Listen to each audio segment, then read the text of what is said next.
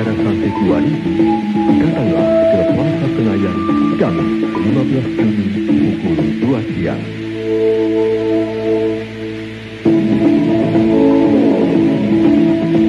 Ini menjadikan siaran Rantai Kuan Datanglah ke Puasa Kenayan Kamis 15 Juni pukul 2 siang.